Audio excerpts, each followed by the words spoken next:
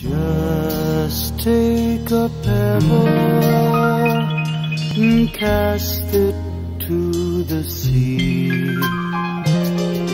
Then watch the ripples that unfold into me.